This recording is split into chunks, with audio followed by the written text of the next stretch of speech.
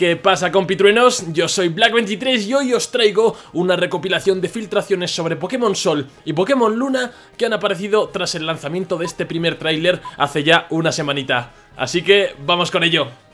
En primer lugar, chicos, unos tres días después del lanzamiento de los nuevos trailers, el canal de la revista Coro Coro sacó otro fragmento de los juegos en los que a simple vista no parecía haber nada nuevo, pero si nos detenemos en un frame determinado, cuando el chico está saliendo de su casa, ¡BOOM! ¿Qué es eso, compitruenos? Todo el mundo piensa que es el típico Pokémon perruno de las primeras rutas tipo Cizagun, Lillipup, Sentret o Bidoof, pero yo creo que es un legendario ultra mega secreto transformado en un perrito para despistarnos a todos. ¿Qué pasa? Yo lo creo, ¿vale? ¡Mentiroso! Vamos con la segunda filtración. Hace pocos días, alguien descubrió lo que podrían ser los tipos de las evoluciones finales de los starters ya publicados en el tráiler oficial. Y es que resulta que si entramos en la web de Pokémon japonesa y vamos al apartado de los starters, podemos hacer un truquito para encontrar las imágenes que están alojadas en el servidor. Y da la casualidad de que solo hay 6 imágenes que se refieren a tipos de Pokémon. Las dos primeras imágenes se refieren a los tipos planta y volador. La cuarta imagen se refiere al tipo fuego y la quinta imagen se refiere al tipo agua. Pero, ¿qué tipos son la tercera y la sexta?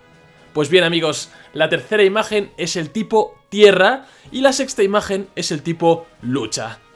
Todo esto nos lleva a pensar que las evoluciones finales tanto de Litten como de Poplio van a ser de tipo fuego-tierra y agua-lucha respectivamente. Por último chicos, os traigo una imagen que se hizo bastante popular antes y después de la salida del tráiler oficial y que igual muchos de vosotros no habéis visto.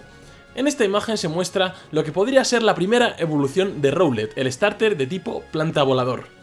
Yo la verdad no creo que esto sea cierto, ya que las alas de Rowlet no creo que dejen de ser de ese tono cremado, y además los ojos no se parecen mucho. Pero bueno, nunca se sabe amigos, a lo mejor es un boceto previo y la evolución finalmente se parece bastante a esto, quién sabe.